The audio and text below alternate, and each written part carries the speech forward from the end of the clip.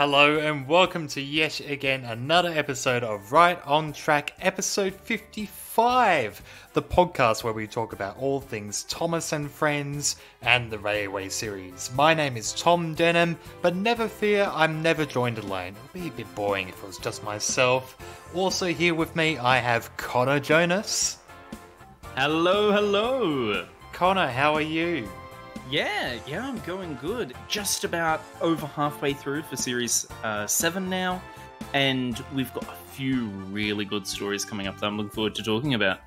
Indeed, we do. And to help us on this wonderful journey, we have our third host, the accredited critic himself, Tom Parry. How are you?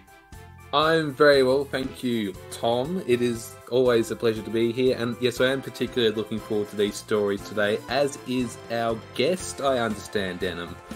Why, yes, of course. We do love having special guests here at Right on Track, and in today's episode, we have the scribbling, fantastical illustrator herself, Sea Swine.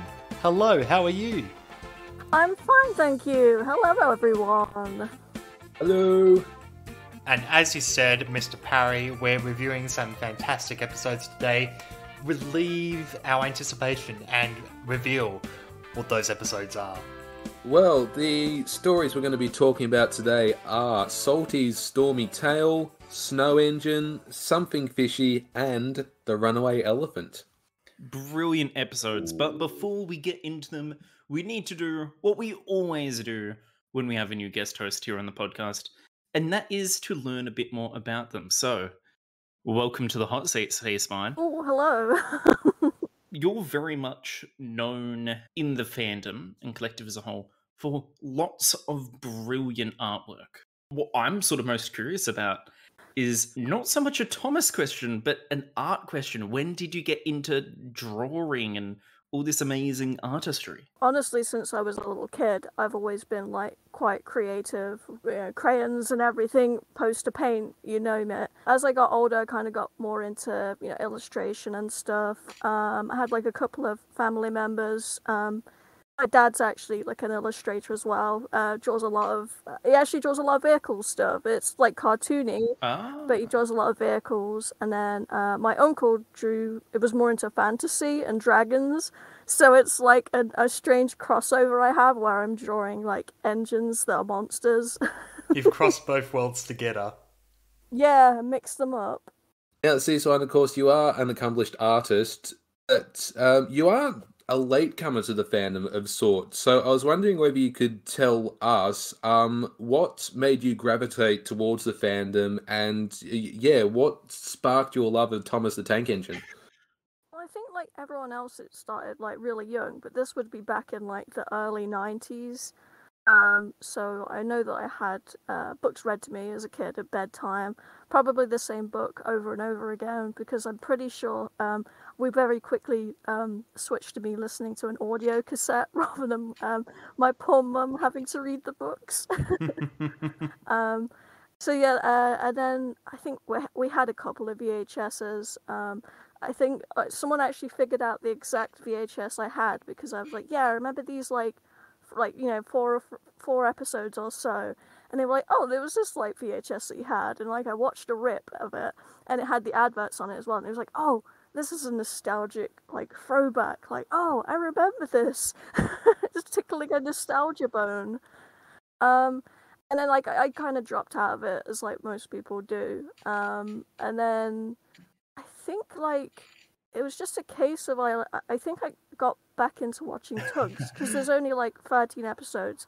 I watched that and then i found out through tugs like oh there's like a thomas fandom as well. So i kind of like I, I made like a little side account so I could join in, and I just ended up really like appreciating it because um, it's like a really creative fandom. You've got like people writing, making models, making their own like little mini episodes and videos. So it was like really refreshing to see all this like creativity going mm. on.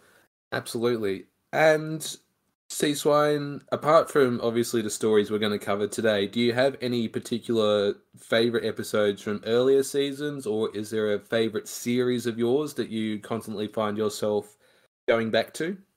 Um, I do like season four because it's got the little narrow gauge engines and such in.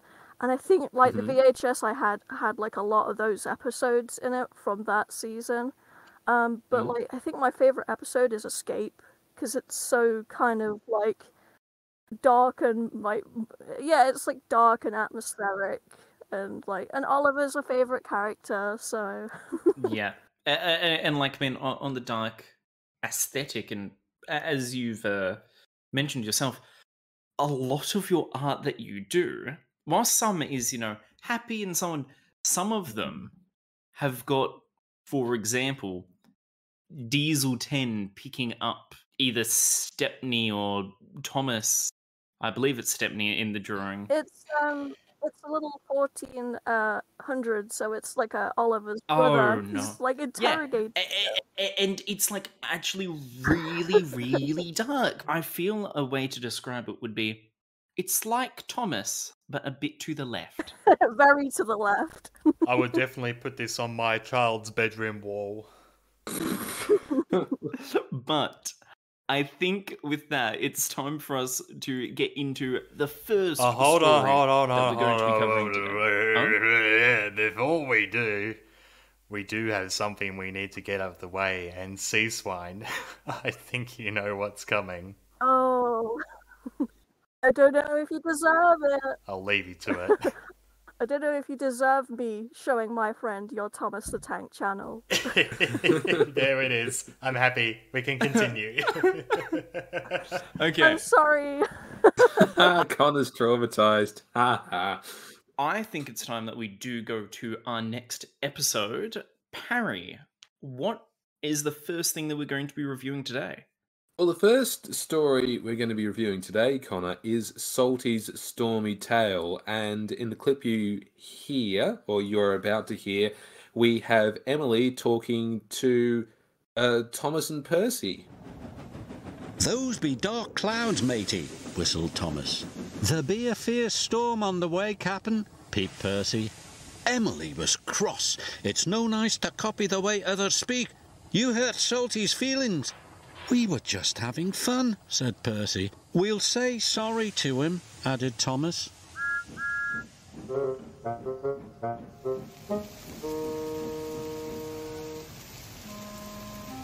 But Salty was nowhere to be found. Thomas and Percy were worried.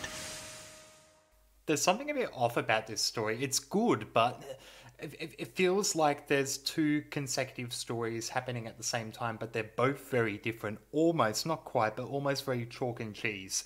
Does anyone get a similar vibe? Yeah, I feel like that too.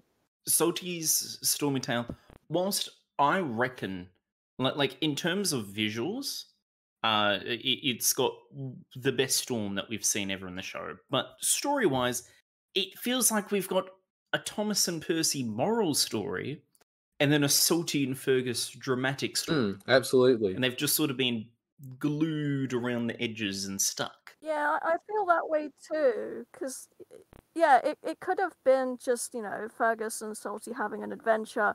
And then it just seems weird that, like, the Thomas and Percy, like, don't be mean to people kind of moral is kind of squashed in there. It's interesting because the whole Salty and Fergus story counterpart feels exactly like David Mitton to a T. It feels like something that he would direct and tell. But it feels like almost through script revisions, it could feel like there's been this mandatedness that they've had to add this kind of morale tale for Thomas and Percy so it can be a bit more attainable for the younger viewer. Mm. Uh, uh, on note of story, this story is by Polly Churchill. Um, but yeah, like I would personally prefer Salty Stormy Tale a lot more if it didn't have the entire second moral subplot behind it. But very briefly, Salty Stormy Tale starts with Salty going that there's a storm coming. Percy and Thomas then imitate Salty and his Yarhar accent. His pirate voice.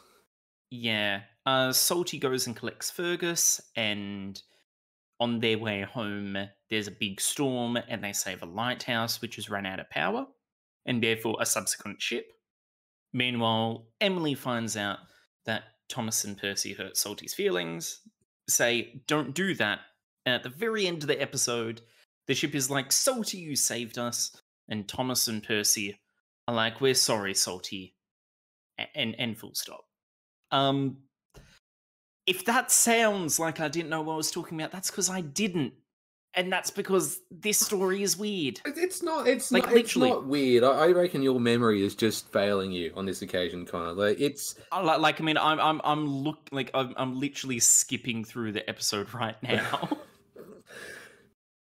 This is not like you, Connor. Usually, you're the best. You're you're the one who comes prepared. You're the one who's always got the notes ready and has infallible no, recall. I am prepared. I I Parry, could you please shine some more light on the situation for us? oh I I I. Um, no, Connor, I think you've done like about as good a summary as you can do. But essentially, you are right. There are two separate conflicts going on here. Neither of them really gel with one another. It would have been better if they had been separate stories. I feel, but uh, there is one thing you've missed, and that's uh, powering the lighthouse back up. We, of course, are, were introduced to Fergus several stories ago, but the way Salty and Fergus are talking to each other, it's kind of like we're meeting them for the first time. It's uh, because here he is at the cement works and he's coming to the docks for some reason, and it's never properly explained why. Steelworks. The st- oh, he's at the steelworks. That's right. So he's not at the Yeah. cement works in I this thought story. it was the smelter's yard. Smelters Yard, Steelworks. They're, they're like they're, they're similar,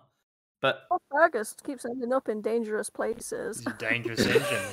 true. But this this time he seems to be there by choice. Hmm. Um, uh, one thing to note though on how yeah for some reason he's going to the docks. Technically, um, Fergus should have gone down this way in his premiere episode. Bill Ben Fergus.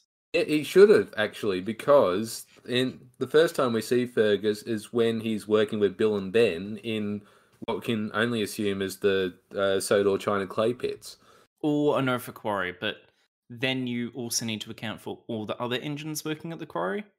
Whilst Yes, yeah, or a Norfolk quarry or Farquhar quarry. But that would therefore mean that this story should take place somewhere before that, Hmm. since his driver doesn't know the line. Yet he's been down here before. Yes. Um, it's interesting in this episode because as a kid, this is the first time I saw Fergus in an episode because I had the Engines to the Rescue DVD. Did you guys? Yes, that? yes. I had the exact same DVD. Yeah, I also had that DVD. Mm. Um, I, I, th- I think what's really unique about this episode is that Fergus's being here is very plot driven. He ends up helping out the um, the lighthouse keeper uh, by powering the light with his flywheel. and, and, and like I mean, his greatest like, like it, it's weird because Fergus, if you remove him from the story, the story doesn't play out the same No, way. it doesn't. And this is the point I want. to... wrecks. Everyone dies. Yes. Exactly. There, there you are. That's the next Stark drawing for you. Um, da da da da da da. Bop.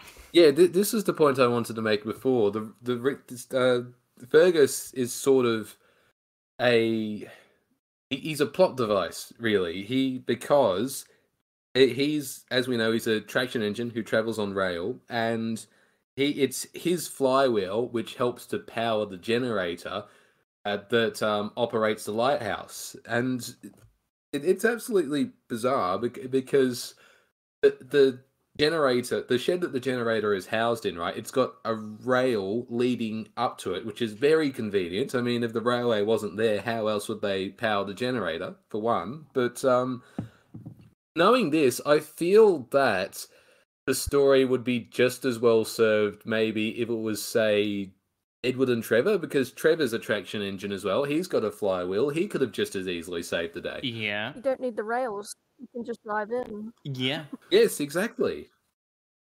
Yeah. I, I, I'd like to note that the most likely reason why there's a shed there would be would be because this is a lighthouse. Probably, it, it's definitely far out on the coast. It doesn't look like that there's any easy access to it apart from the railway. So chances are that they've got their own little inspection trolley or speeder that they can take along the rails, and it's just stored there. That's a possibility. Mm. That like like like that, that that's the way I'm justifying it in my head. No, no, no. I think that's a very logical reasoning there, Connor. So well done. But Thank you. my thought as well is where exactly is this taking place? Where is this lighthouse in the, you know, on the whole of the island of Sodor? I suggest that this lighthouse is on the coastal route that Henry takes in series 5. The coastal what, Connor? The coastal route. Yeah, yes, that's better. Except it's a route because, you know, we're not at a tree, but, you know, we can go into the etymological arguments of this afterwards. Parry. Or, or sorry, paré. Um. paré. I, I think. I'm hilarious. You're alone in that opinion. You do say that to yourself quite often. Yeah, does anyone notice that Fergus doesn't get thanked at the end? Yes. He's there That all is an night excellent point. working, and then at the end, yeah, it's like hmm. y- like oh, Salty had the idea, Fergus did the work, and then like yeah, he, Fergus is just there. Everyone's like, oh, thank you so much, Salty, and Fergus is like, okay, okay, I guess I didn't do anything then. It's literally this bit from The Simpsons. So, a round of applause for this inanimate carbon rod. I- I- i- if anything, Fergus is more of an object in this story. Like yes. Oh, poor he's yeah, thing. quite literally. He's a plot device. I, I I feel I feel that there's something wrong with the story when you can uh, there, there's only four scenes in each of the four in the two stories here you get a- and like the first one's just a line because you get salty going there's a storm then he's sent off to the smelters then him and fergus go and save the lighthouse Mm-hmm. in the storm that he mentioned in that previous line, and then Mhm. it's a big thank you. Yes. Meanwhile, Thomas and Percy one, you get them imitating him, you get Emily learning about it, Emily telling them off, Mhm. and then them apologizing to him. L- l- like, there's literally no room in this story to get creative with any of these plots. Well, well, not narrative wise, but we haven't touched upon this yet. The special effects are pretty impressive, and when we we all admit that, right? Yeah, Visually, it looks great. Yeah, yeah. Yes. And and when we're referring to visually, it looks great. I'm assuming we're only referring to the uh, the sort of overcastness and then the storm. Yeah, that, and I reckon we get to see more of Brendam Docks as well. Like we get to see little areas that we haven't seen before in any other seasons, especially as it expands. Yeah, we do actually. I, actually, side note, Cranky isn't here. No, he's not. That's that's a good point. But um, Yeah, he, he, he was sleeping after no sleep for Cranky. They just lay him on his a very long sleep. The practicals in this episode, fantastic. You get a small explosion from a fuse box. You get brilliant shot of, and I know it's just a light, but the Mhm. fact that a light is turning off as it's still revolving. Oh yeah, that's a great shot. Uh, you you get the rise and fall of the ship. You get Mhm. there- there's just one shot, and I know that they were so proud of this one shot, where you just see the wall of the generator uh, shed, and the lights slowly brighten up, Mm. and I, Yeah, that's a good one as well. it's brilliant. Um, but I would like to note that yes, practicals are at their peak in this episode. Mm, that they are. and I'm afraid that that won't be the case ever again No. because this is the last ever case that we see real water being used as rain. is it now? because throughout this they they you know Yeah. just sort of do like the mist of rain going down, Mm. And in the future it's all just going to be CGI. Oh, lazy. Coward's way out.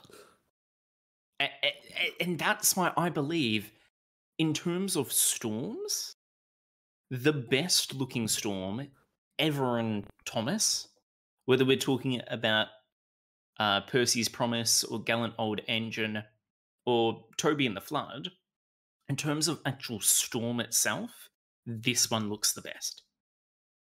Yeah, I have to agree with you there. It, it's just got such a good atmosphere to it. Yeah. So, with that, Hmm. have we got any more comments before we move on to the ratings? Can we talk about the goof? Oh. Uh, okay, Because, Sea Swine, you can introduce that.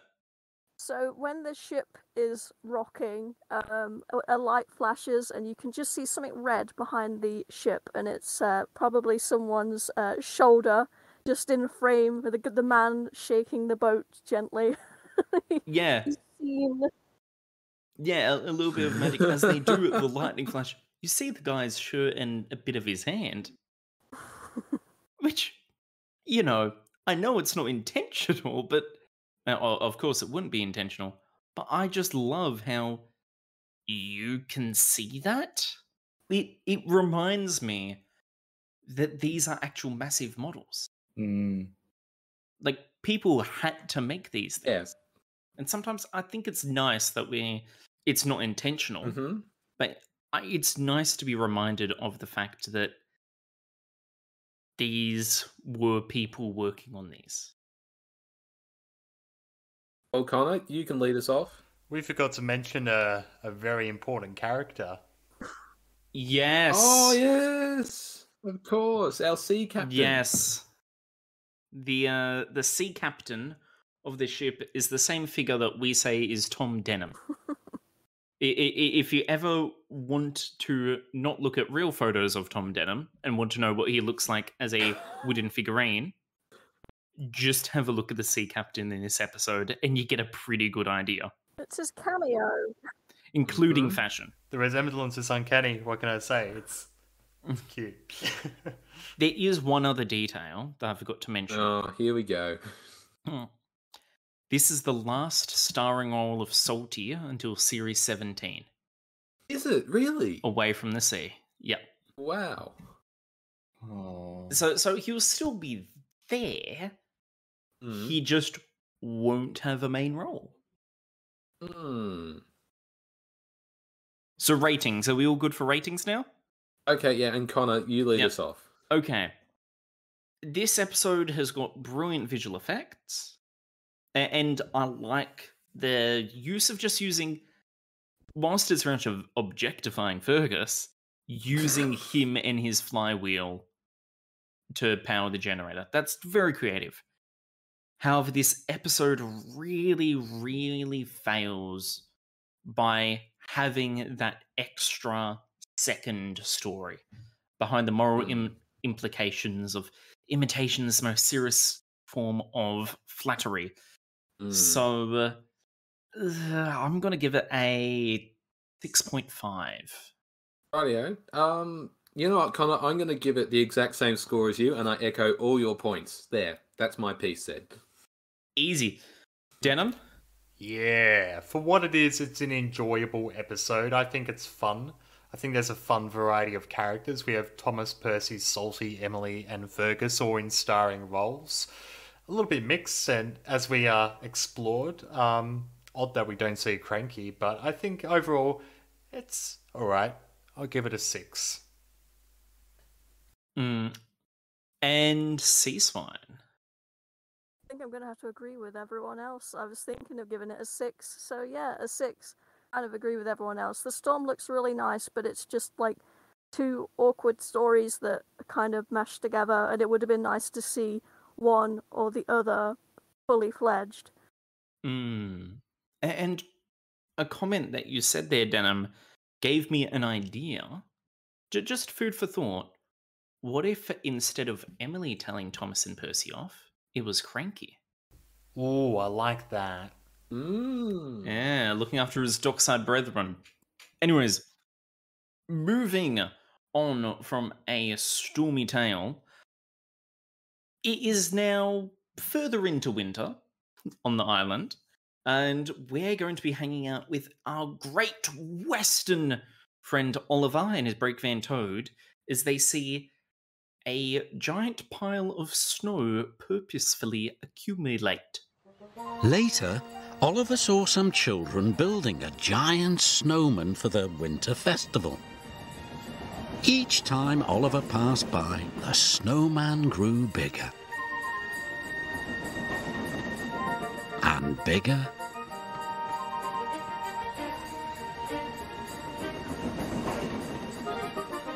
And bigger.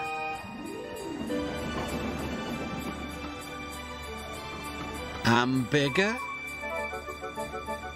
Just an observation, Mr. Oliver. Snow is magical. Pah!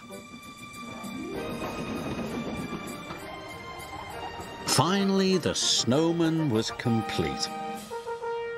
Or do you know? I hope nothing bad happens with this uh, snowman getting precariously bigger and bigger. No. with, uh, grumpy No, Oliver. not at all. Not at all. In fact, no contribution to the story at all. It's just there. It's just pretty. Yeah, it's just decoration. It's that decoration. I just love how large that top hat is that it's wearing. Where do they get a top hat that It's from the same shop that I go to do my shopping.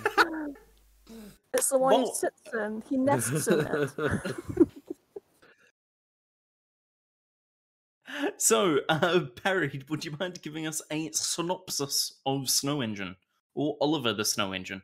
Absolutely. So, yes, as as we established before, it's winter time on the island of Sodor. There is a giant snowman being built next to the Great Western Railway Line, or the what, what is it? The Arlesdale Arlesburgh branch Ye- line. Yeah, yeah, the Little Western Arlesburgh branch, or technically, if you're looking at maps, this is Rolf's Castle station, which should be.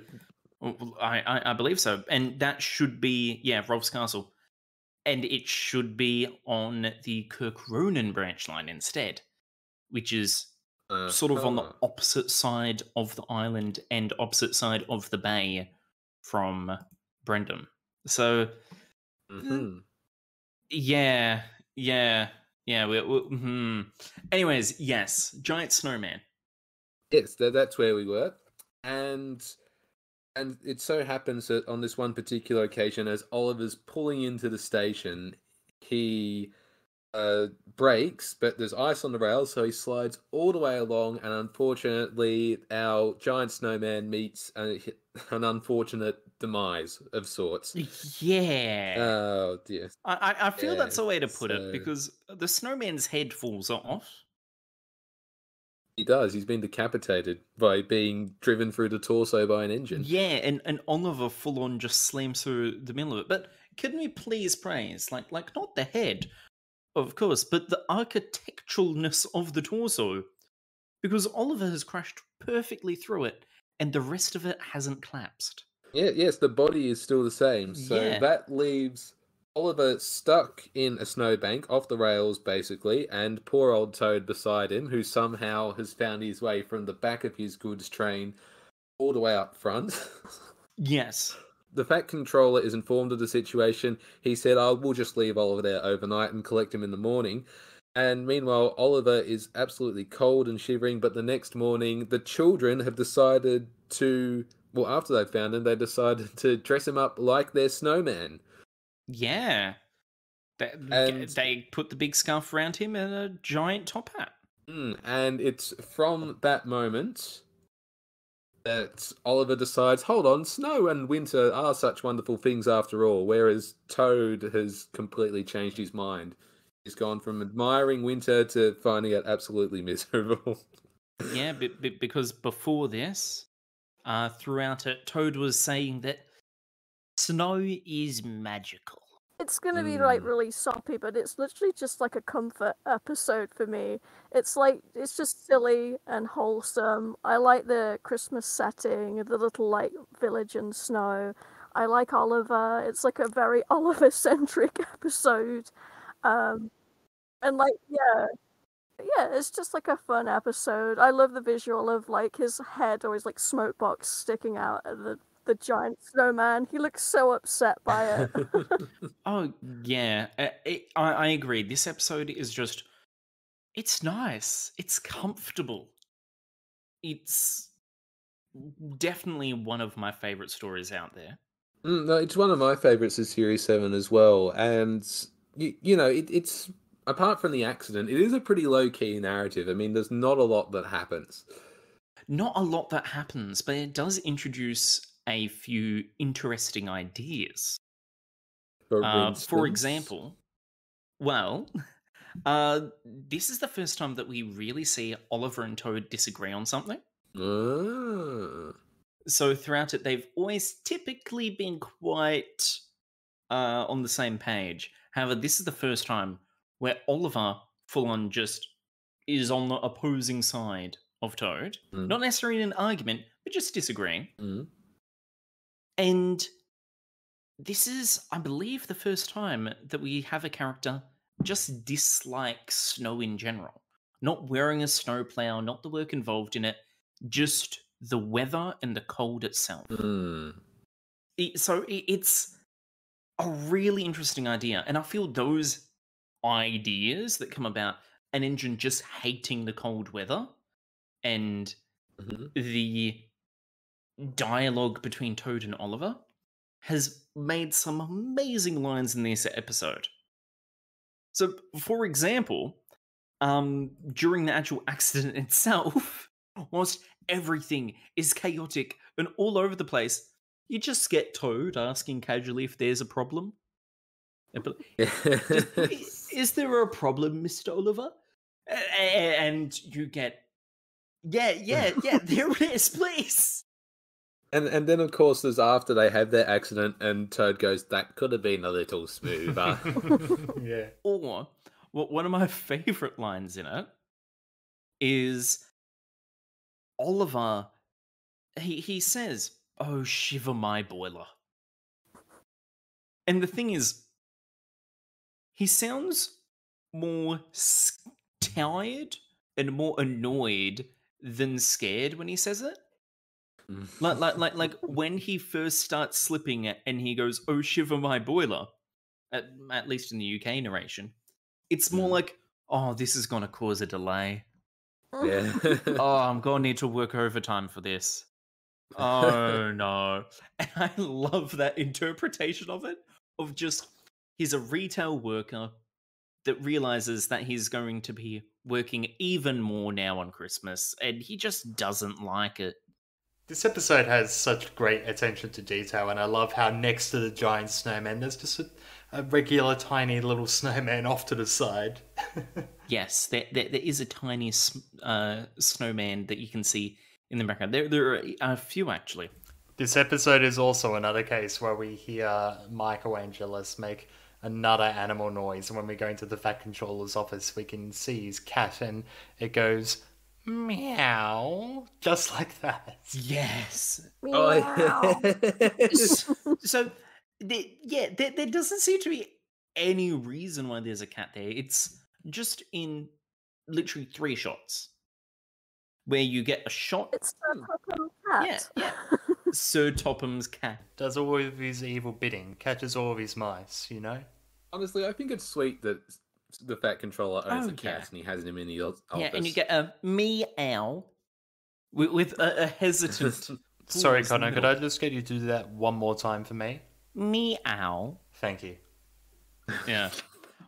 But what I feel this episode really shines in, uh, I'm wondering if you guys have picked up on, on it because it is not the dialogue, it's got nothing to do with the Mhm. visuals, but it is the various sound you hear. For example, you get just three shots of Sir Topham. You get his telephone ringing, you get the light turning on and the cat meow, and then you Mhm. get Sir Topham talking on the telephone. However, during that entire sequence, you can hear the flick of a light switch, and you can hear this almost string uh, Slavic guitar being played lightly, as if we're only catching the middle of a song that he's been listening to at the time. Or uh, as Oliver sits out in the cold and snow, you can hear people laughing and joking along in the nearby inn. Yeah, Oh, Or of poor Oliver is stuck outside. A- a- and the final detail is when Oliver's driver actually goes into the inn to stay there the night, you can hear on the piano the 19th century Scottish folk song My Bonnie, also known as My, known as My Bonnie Lies Over the Ocean, Oh, that is niche. What a pickup. uh, which was played uh, and popularized by the Beatles and Ella Fitzgerald. Uh, but you can only hear My Bonnie in the UK releases. So, US, you're missing out on something there. As you always are, let's be honest. Something else that is noteworthy is that we see the return of Nancy, the guard's daughter, who we saw in series four. I wouldn't say it's a character return, but yes, Nancy's model Hmm? does make an appearance. I noticed the model looks like yeah, she's like the model is slightly bigger than the other kids, so I like to think like, oh, you know, she's like looking after them. She's the older kid, making sure that they're all okay. Oh, that's a good idea. She runs a youth group for the kids. Oh, But but I can guarantee, I, I can hundred percent guarantee that the only reason that Nancy's model is there is because she's got a beanie, or or a head warmer, or, or whatever you call it. We call it beanies here in Australia, and, that's the only reason why she's there. Because you can see that none of the other children are wearing beanies. In fact, all of them are just wearing everyday casual sodor clothes. Heck, there's one boy, like, I mean, I know some people do this, but he's wearing shorts. In fact, I can see two. In fact, I'm going to count one, two, three. A lot of them are wearing very, very hot summer wear. They're all they're hardened uh, Sodor kids. They're used to the brittle colds. They're big, they, yeah, they go out in t-shirts and shorts in the snow. Then, you know, you get someone from Vickerstown coming over complaining about the code, like, oh, this is nothing. And then they're wearing their singlet, skivvy, and just shorts. Now you're just describing Australians. But, but yeah, that, that's that's the only reason why Nancy's model was there because she's wearing a beanie. I can 110% guarantee that. I don't know that for a fact, but it is a fact. However, there are some sad things here. Ah, as there always are, yes. Um, much like in Salty Stormy Tale, this is the last use of a practical snowing effect. Ah. All others in the future will use CGI. Hmm. This is the last appearance of Oliver and Toad until Series 12. Ooh. Sad. Terrible, a crime. It- no, I agree, Sea Swine. It, it is like, you know, there should be a law against this kind of thing. This is the last episode to ever have Oliver as a main character. Oh. This is the last episode without any of the main characters or narrow gauge engines. Mm-hmm. And this is the last episode written by Jenny McDade. who wrote such stories such as James and the Red Balloon, Toby Had a Little Lamb, Thomas Percy and the Squeak, Dunkin Duncan, Bad Day at Castle Loch, and now, of course, her final episode, Snow Engine, or Yeah, Oliver she's the Snow written- Engine. She's written some of the best stories of these past two series, I feel. Yeah, they're Mm. all like Loki, like banger episodes. Like that's like Yeah. A- a- and this is the last time we get two words on a page. I say we go into ratings and Sea Swine. I Mhm. feel because this is sort of the episode you came onto the podcast for, why don't you lead us off? So, I mean, I feel like I, I'm simping here because I like Oliver so much, and I've had like people point out like you could put any other engine in, and I'm like, yeah, okay, maybe I do like it because it's Oliver.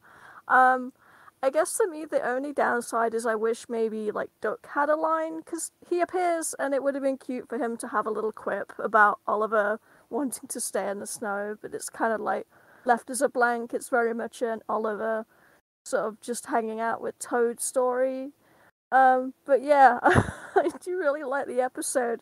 I think I'd have to like give it a nine. It's uh yeah, it's my comfort episode, so Well, um, you know what, One, I think I might have to agree with you here. I'm going to give it a nine as well. This is, I think, in the top three best stories from Series 7, and it's one I find myself returning to time and again. I really enjoy the practical effects. I love that Oliver's a part of the episode.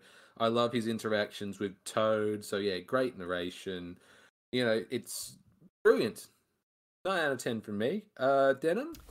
Yeah, this episode's quite sweet. Um, it's simple at its root, but I think one thing that it gets right is the um, the very essence of Oliver's and Toad's relationship as friends together. Um, there's some lovely little comedy in there. Um, there's some, again, as we touched on, the sound design is wonderful. Um, the little character beats are nice too. I'm going to give it a seven. Mm. So uh, you mentioned something, Sea Swine there, on how you could input any other engine into this story and it'd play out the same. Yeah, it would play out the same, but it is Oliver's hate of the cold weather itself and the discussion between him and Toad that I feel elevate this episode anymore. And you can't get that with any other engine. And I highly doubt I'm going to give this score to any other episode. Whoa! But I am going to give this a 10. Oh! I absolutely adore this story. It, it, it, has got brilliant practical snowing effects, which we sadly never see again. In the UK release, you've got My Bonnie playing, and you've got all these other amazing sound design choices. You get the dialogue between Oliver and Toad. It's just fantastic through and through. And it may it would be even better if Duck had a quip, but at the same time, that doesn't matter too much to me. This is forget Duck. yeah, yeah. Th- th- this is the best I feel that Series Seven has to offer. If that rating was a surprise to you. You're going to hear more surprises as we listen to Mhm. our musical interlude today. Well, today's uh, musical interlude, our featured song comes from our old friend Headmaster Hastings, no less. And it is a cover of the. Uh, it's actually a song from Series 8 called Surprises, but we thought, given that the film clip references the story we just talked about, we thought it'd be very apt if we played it here on the podcast today.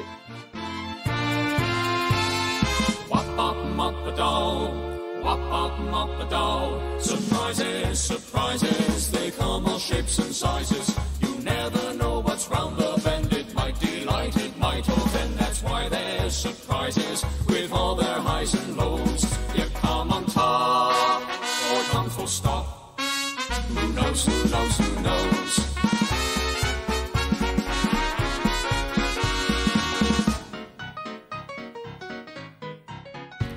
You're halfway up a hillside and all is going fine. When all at once a snowslide comes right across the line. You think you're really done for, but help is on its way. Surprised how often that someone saves the day. Surprises, surprises, they come all shapes and sizes. You never know what's round the bend. It might delight, it might offend. That's why there's surprises with all their highs and lows. You come on top or come full stop. Who knows, who knows, who knows?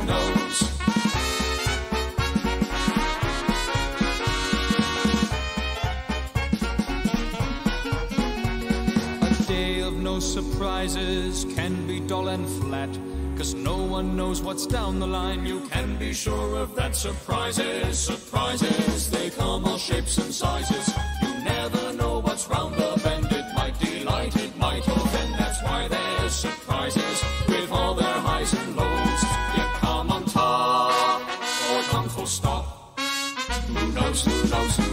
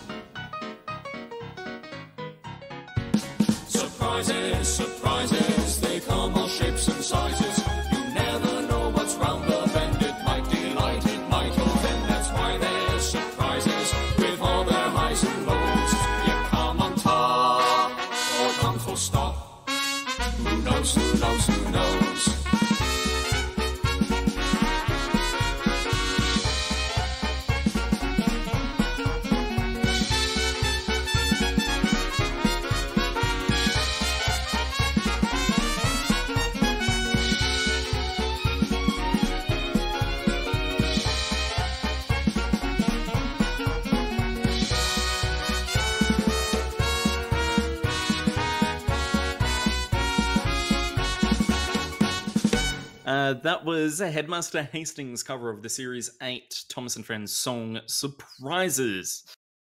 You're listening to Right on Track. I'm Connor Jonas, joined by Tom Parry, Tom Denham, and Sea Swine, our special guest today. We have covered storms, we've covered snow, and now we're going to touch on the sea with our third review of the day Something Fishy, where Thomas has been sent to the harbour to collect some fish. The next morning, Thomas was still grumpy. The fisherman had caught lots of fish. Hurry up, said Thomas. I'm a busy engine. And a fussy one, too, said the fisherman. Just enjoy the fresh, salty smell of the fish. Pooh, puffed Thomas. Thomas steamed as fast as he could along the line. But there was trouble ahead. Some faulty points sent his trucks one way, and Thomas onto the old pier rail.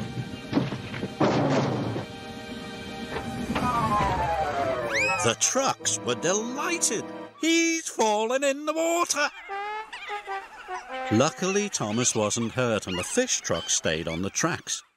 I love how in that accident that we just heard, when you see the episode visually, Thomas goes down the jetty and he splashes in the water. You can see the water splashing up in the air, and then there's just that one truck who remarks at him.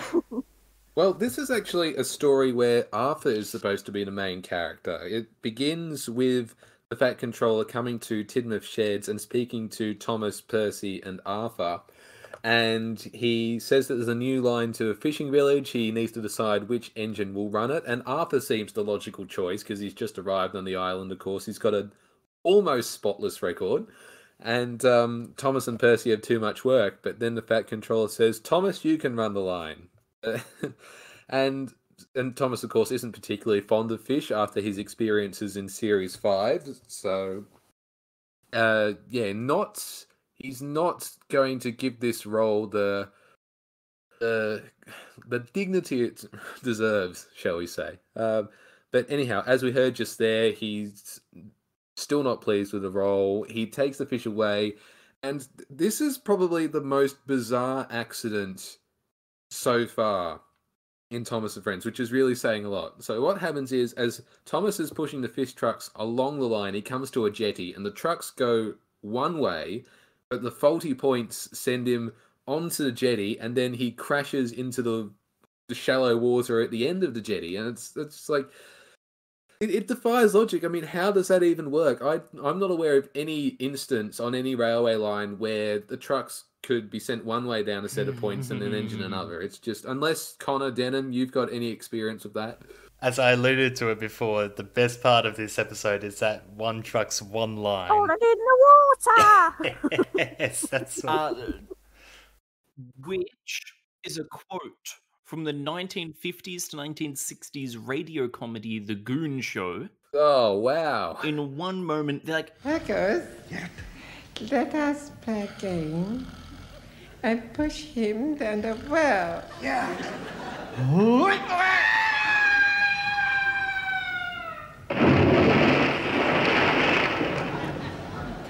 He's falling in the water. But David Mitton was apparently a big fan of The Goon Show, and it makes sense that the line is there. It does. It, it, it it's funny as well. Hmm. Um, but I, I've got no practical experience of that happening, but I do know of trains uh, sort of derailing in the middle and jumping track. and it, it's sort of possible for the points to switch underneath an engine.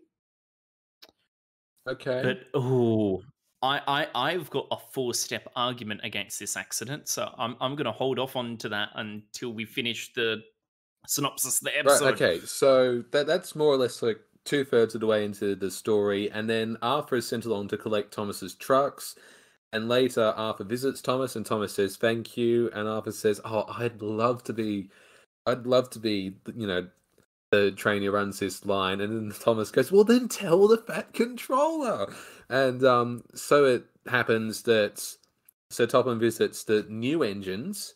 Uh, consisting of Murdoch, just there.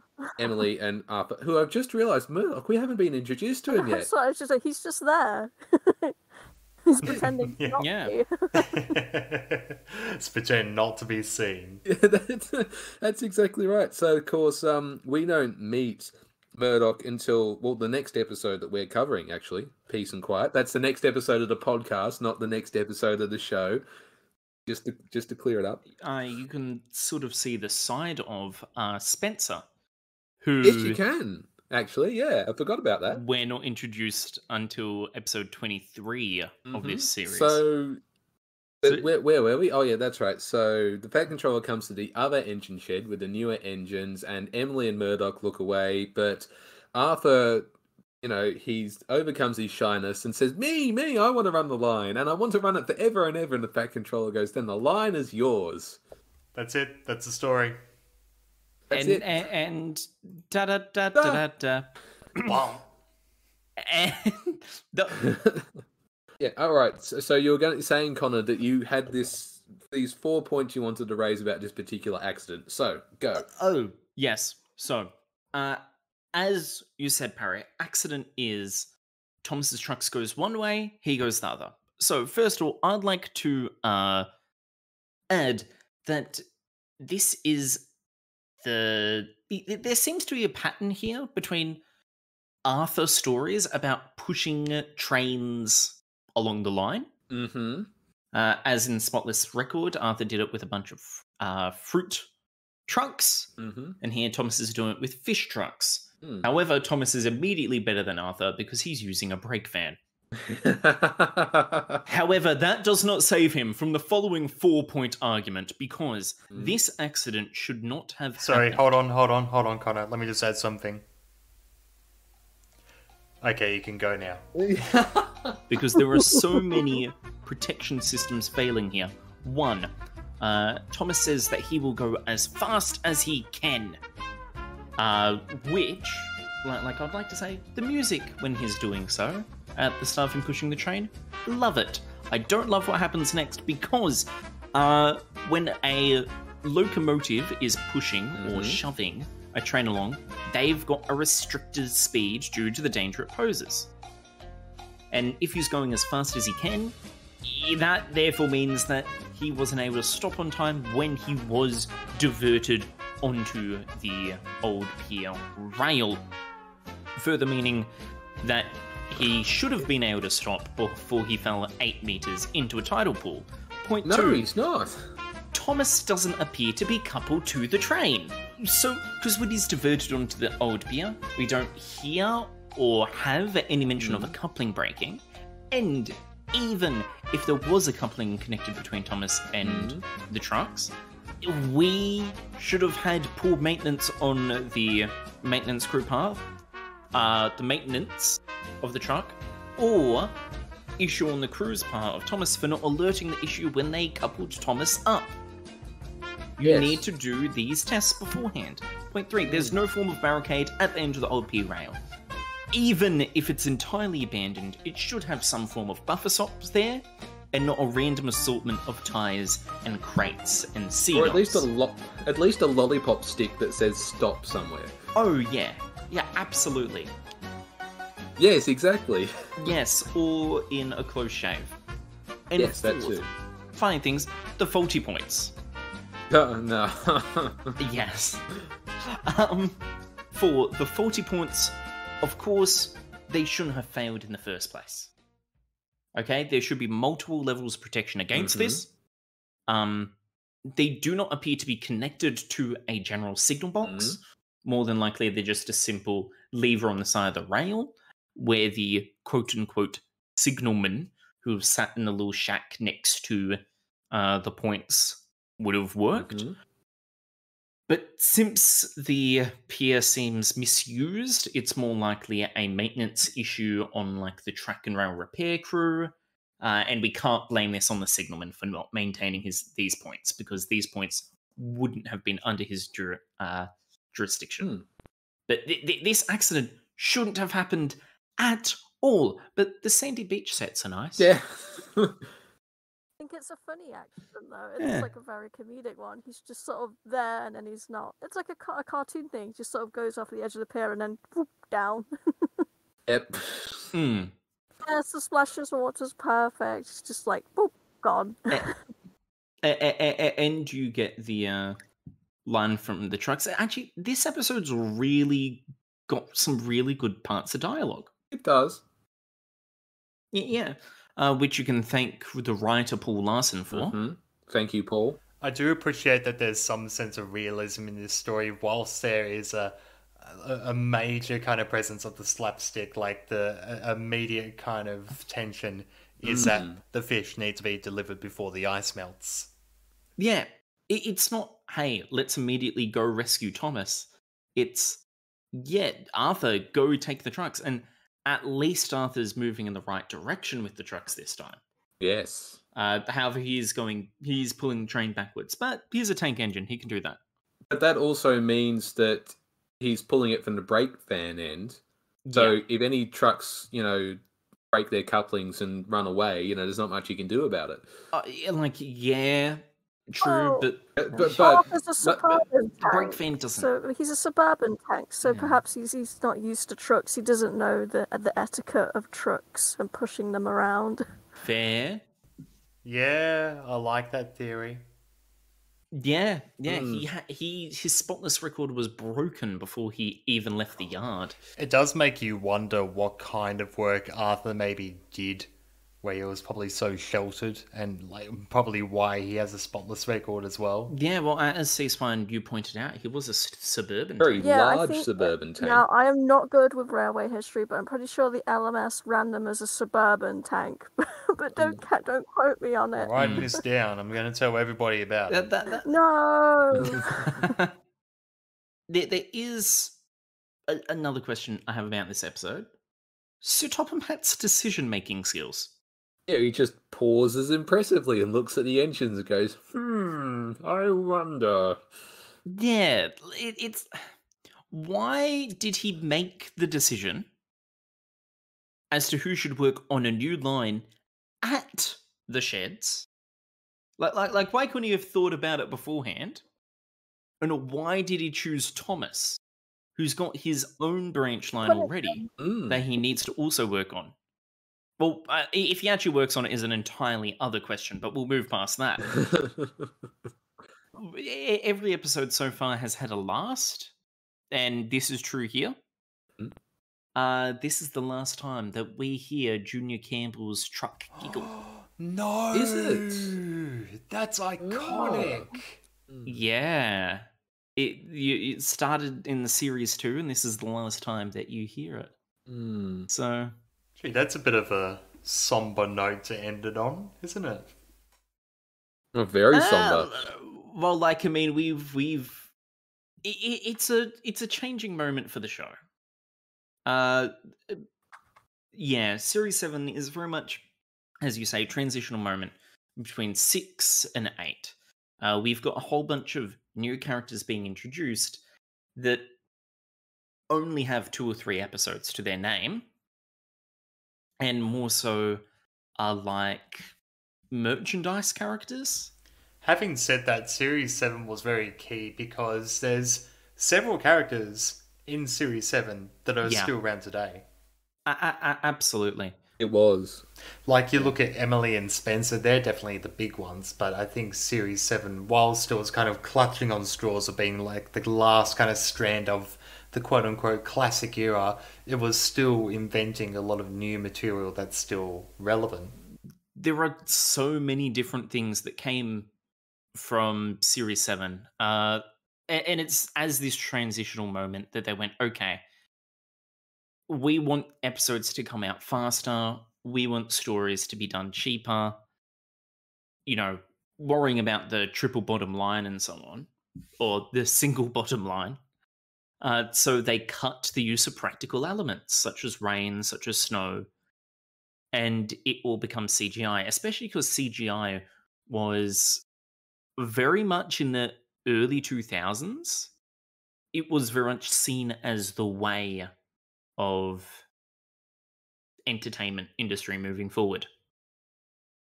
It it was very much in vogue because a lot of people pinpoint Shrek as the turning point. That was the moment when everyone said, "Okay, maybe we should get onto this CGI animation." Yes. Yes. But from discussions about Series 7 as a whole, we've still got one more episode to review. So let's get the ratings for this one. Rightio.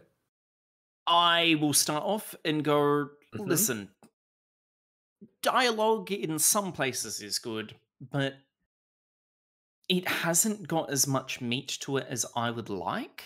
Mm-hmm. And, and like, I mean, sure, the accident's funny, but there are just so many questions that the accident itself brings up, and Sir Topham Hatt's Mm. decision making skills.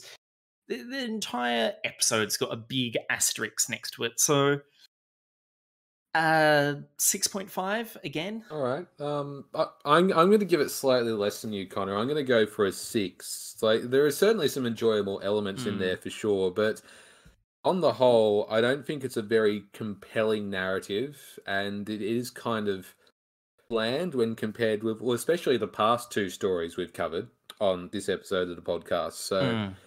Yeah, not one of the best moments from series seven. It's it's it's all right. Like I can put it on and I'll enjoy it. So six out of ten from me. Yeah, it's about this time into Series 7 you can start to feel how diluted things are becoming. I think that's very much, uh, I guess, a glimmer of what's to come in the future. Though, having said that, there are some entertaining tidbits here and there, the comedic pacing, uh, the storytelling, but I think there are parts that are very lacking as well. Oh, you know, it's okay. It's nice to see Arthur. I'm going to give it a four and a half out of ten. Sea swine. Uh oh. Uh, I'm. I think I'm the odd duck here. Um, I really like this episode. Um, I like Arthur as a character, and I think I maybe emphas- uh, empathize with him, um, wanting to sort of be by the seaside.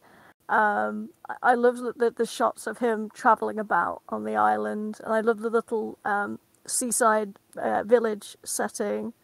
Um, and I like the moral as well, because like Arthur is kind of like shy and he follows the rules, and he's maybe feels like he can't speak up, so he he has the job, you know, he, he can't get the job that he wants, and then in the end he realizes like, yeah, actually, you know, I, I, it's okay to speak up uh, sometimes. It's it's okay to ask for things, and like he overcomes his shyness and uh, he gets the job that he yeah, wants. that's a good point. He gets to hang out with fish all day.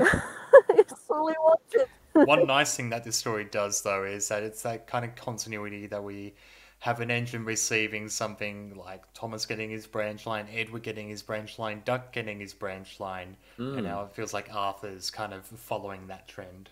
Yeah, I think it's like that sort of aspect. That yeah, it's just that's just Arthur's job. He just works at the little fishing village. So I think I think I have to give it an eight. I really like this episode. no, no, it, I, I I would expect no nothing less from someone called Sea Swine yes. to like an episode about the sea. Hmm. Oh, oh! Be- before we move on to our next story, um, one thing we haven't raised is Arthur's theme. It's great. Like I think it might be the best theme of series seven. Yeah, it's Yeah. definitely up there. It's not my personal favorite. Yeah? I think mine would have to be Okay. Spencer's. Uh, oh yeah, Spencer's theme is good. Oh, Fergus's theme as well. Actually, that's quite jaunty. So yeah. The- s- Series 7 has got some good music in it. And on music, there's actually some interesting music in the next episode. Denham, what is it?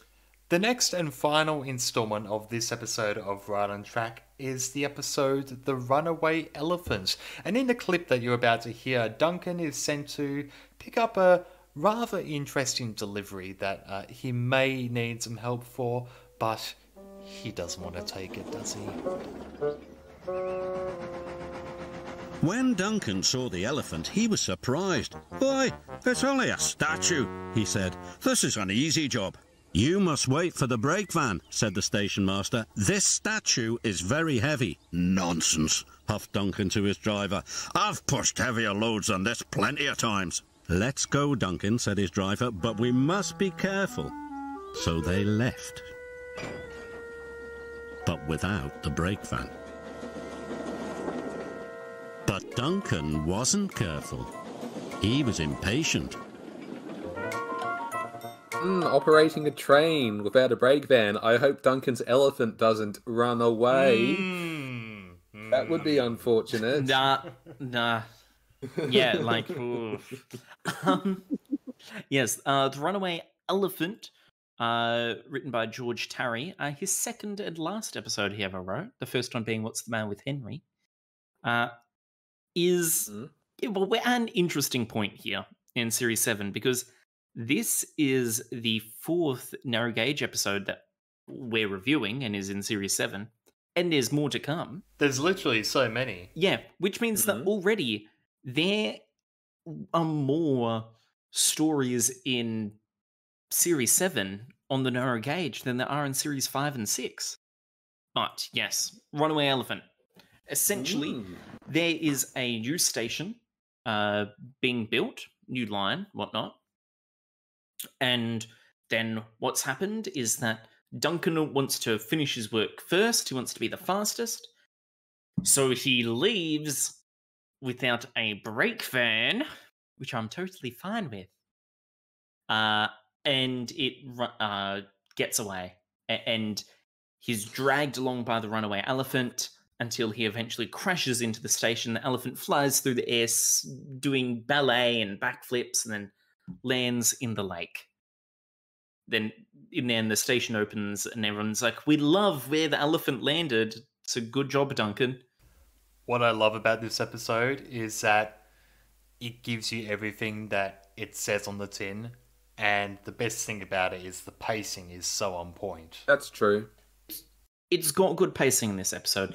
Like many of the runaway stories, uh, it's very much got not too much of a story. It's simply engine takes train, engine does thing, train runs away from them.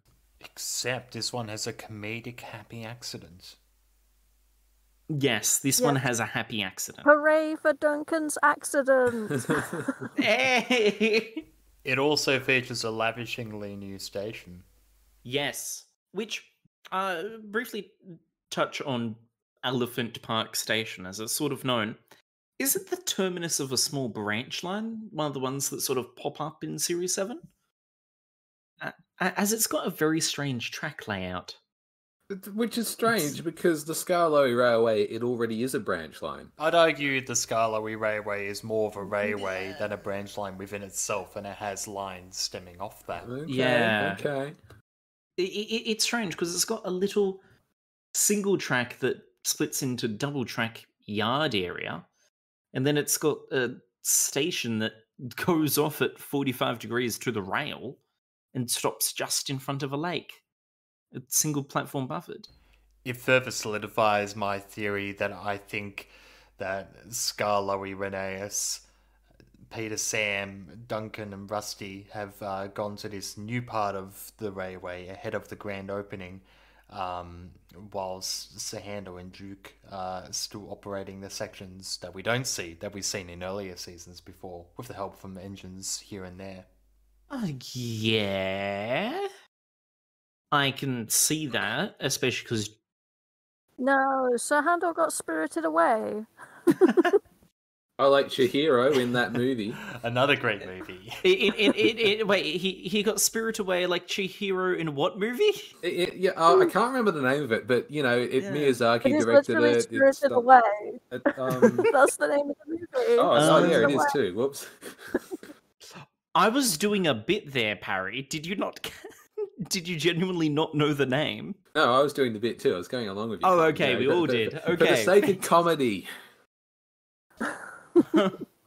but yes, uh, I, I've mentioned this before uh, for the Skarloey Railway, but it looks so much better in Series Seven than it does in like Series Five and Six. I feel because Series Five was way too grey, Series Six felt a little too cramped, but now it's green, it's wide, it's spacious. Mm. It, it really does feel like that we're just in a rural mountainous countryside Definitely. and we've got the distance to show it. And I Mm. love that. But it, it doesn't quite feel as quaint as the series four scenery. I mean, I know Oh no. that I know that season four set a really high bar, but yeah, after seeing that and coming back and seeing this, it's like it's just not as impressive. You know? Mm, no. Yeah, I was going to agree with Harry that like it feels a little bit too clean for me. It's like it's a little bit too yeah, like it's uh, it's it's, it's green grass, blue skies, nothing really in between. Mm. I think it's why I'm a little bit thankful that we see the odd piece of Series 4 stock footage here and there because it further solidifies that in myself that those places are Mhm. still kicking around. It's like, oh yeah, they're still there, they're still popping. So so this episode is I'll, I'll, I'll touch on sort of a, a big issue with it. I feel, which is Duncan just wanting to finish first. It does feel like Duncan to a T though, but like I can relate. I like being ahead of everyone. You're already a head taller than everyone. Do you mean that figuratively or physically? well, physically, you've got about a foot over me and Connor. I mean, come on. I weigh six metric tons. Like, come on. It's very dense.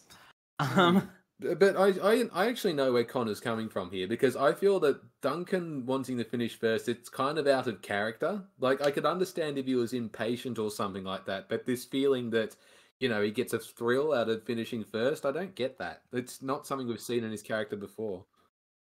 the character devolution. Actually, I'd argue it's character development.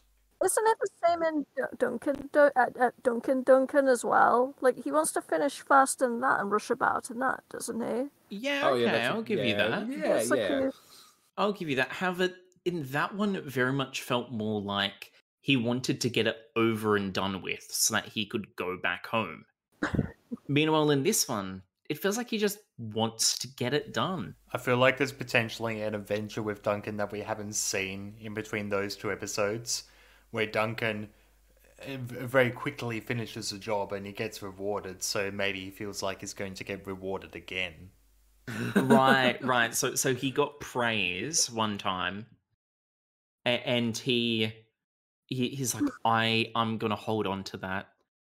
I this made me feel really good and happy. I'll now always do it. Okay, yeah, okay. I can I can see that. But there's also some You're never happy, Connor, aren't you?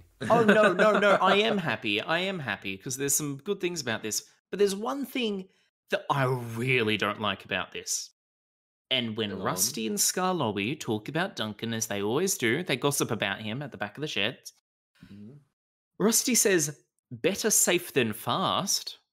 Yes. Now, sure, that's a good moral, but o- okay, I understand how children watching this or people in other cultures and countries mightn't understand the saying "better safe than sorry," Mhm.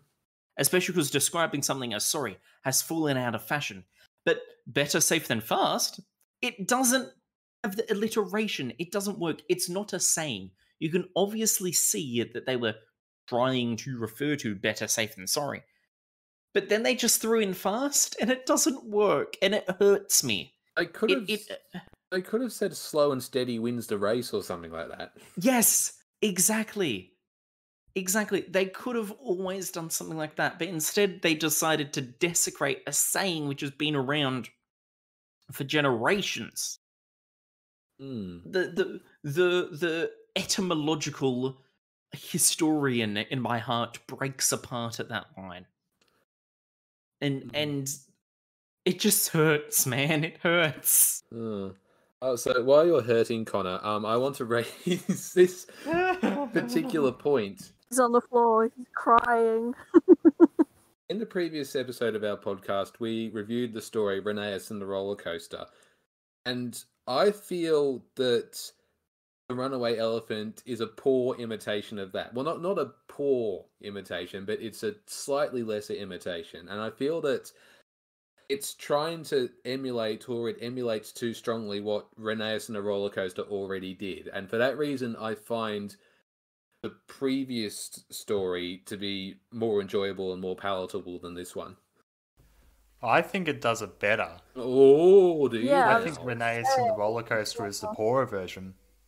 Like these two episodes are back to back in terms of Skarloey stories. They are. And if anything, when watching Rheneas and the roller coaster, it's very it's shot very static. The camera's very still. There's lots of weird Dutch angles.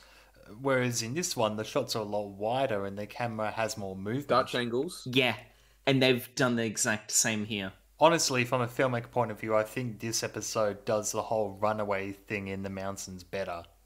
But that's just my personal opinion. Mm, It it's strange. They both have got very they've got lots of similarities in a lot of their shots and how the story like accident plays out. mm, and they both use the William Tell Overture, don't they? Yes, Yeah. they do. Uh, it's a small variation, uh, just short of the William Tell overture. And I Mhm. think the episode intentionally does that so we don't hear it Mm. all over again. And I am fairly sure that this is the fourth and final episode to ever use the finale of William Tell overture. Hmm. See, Swain, you're a bit of a Duncan fan as well. Is there anything that you feel this episode particularly does well for the character? See, like, I like that Duncan seems a bit dense. There's one line where he says, "Ah, it's on, it, it's only a statue. This will be easy," and it's kind of like he's expecting it to be a live elephant that he's got to sort of guide around the track. Like he was fully expecting a live elephant, which would have made the ep- uh, the episode a, a little bit more interesting. Um, yes, I think like the the weird kind of like zany nature kind of works better with Duncan because like I don't he's not a silly character but for me like Rheneas is a little bit more like stern and the roller coaster thing is a little bit like oh we're bullying this poor old engine whereas Duncan can kind of take it on the chin chasing after his uh, stone Dun- elephant. Duncan deserves to be made fun of. yes, bully him. Um, yeah, I, I, I would like to know Mhm. because you mentioned live elephant. Uh, of course, elephants and railways have got a long history. Uh, part of which we mentioned Uh, in not episode. a great history. not a very happy one. Yeah, yeah, not a very happy one. We saw mention this in episode 30 of the podcast when we covered Henry and the Elephant. So it's not too surprising that there may be a elephant statue near a railway. But most of the time an elephant statue is near a railway because something happened with an elephant near the railway there. I'm not necessarily referring to, you know, a elephant hit by train here or train re-railed by elephant. There's your shout out to Big World Big Adventures, but it typically means that something happened there. or but Which brings up the question: What happened with an elephant on the Skarloey Railway? Could it potentially be the elephant that tormented Henry? Could be an elephant from the circus. Yeah, Who may have been a audience favorite member for a long time. ooh, Ma- maybe the elephant that tormented Henry is prone to escaping. Okay, okay. C-Spun, you got any uh, theories? Um, I, I've never actually thought of it. It's quite a happy looking uh, elephant statue, so maybe it's not something so morbid. Well, yeah, but you wouldn't exactly do an elephant laying on its side if it's a morbid accident. like me, it, that would be adding more insult to in, uh, injury to the poor elephant.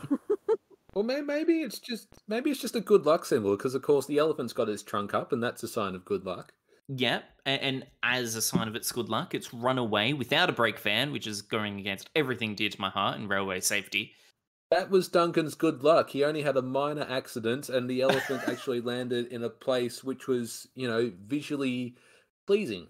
Yeah, also, I do quite enjoy the motion animation of the elephant somersaulting in the air and then landing perfectly in the middle of the lake.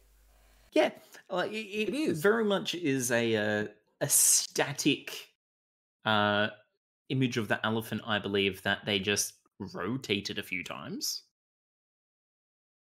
I I don't believe it's a proper 3D model render. No, I'm I, I'm pretty sure it's just yeah, it's just the Yeah. image flipping. It's like the sign in Dunkin' Donut. It Mm. does it does a similar thing to the sign. It does the little flip and then lands. it very much might uh be- be 3D. I'm fairly sure it is just an image though. But like I mean, it's very comedic watching it flip through the air. Like I I I definitely when I was watching the accident for the first time, I didn't actually hang on, I, I've just pulled up the clip now to confirm. It very much does look 3D Hmm. but it might be actual like the model that they rotate a few times and they've done masking behind it which is why it looks 3d Mm. but but watching how. It's- yeah w- w- watching how it like the light bounces off of it it definitely is a model of some kind physical or digital anyways um yeah it, it, it spins pleasingly through the air and it should have landed on its head and back and cracked which sort of brings us to the ratings unless there's anything else Mm, I've covered everything. yeah yeah we're c-spine you got any comment here any quips Um, no, I, I, I- I think some blame goes on the driver for the whole brake van thing because Duncan's like, Oh, absolutely. absolutely. Yeah. and then Yeah. the driver's like, yeah, no, I, I, I don't want to, I don't want to argue with Duncan. Let's just go. Let's get it over with. And this is not the only instance in which Duncan's driver very nearly causes a disaster, I might add. Well, he did cause an accident not a Well, disaster he did cause an accident, but Yeah. uh, as we'll find out later on in this series, he does Yeah. something even worse than that. Ah, incompetence all the way around Yes. so let's rate it Okay. Um. I, I guess I'll lead. Uh, six out of ten. Like it, it's not my definitely not my favorite, but I think having this discussion today it really helped me to appreciate it more, particularly you know the gags and the narration and all that. And so yeah. Uh, Connor, what about you?